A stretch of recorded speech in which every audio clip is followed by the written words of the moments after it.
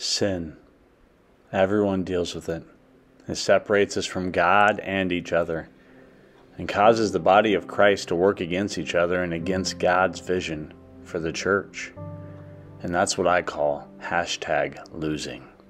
Thankfully, Jesus gave us a practical way to overcome this separation and truly win in human relationships. And it begins with being real. Nobody's perfect. Sometimes our imperfections hurt others. Sometimes we don't even realize it, and sometimes we only see imperfections in others. But nobody, except Jesus, is perfect. And this great Prince of Peace wants to reconcile imperfect people into one new humanity in his mighty name.